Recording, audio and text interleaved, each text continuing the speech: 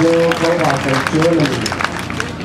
Next up, we have Mr. Leon Lu from Canada. Mr. Lucas.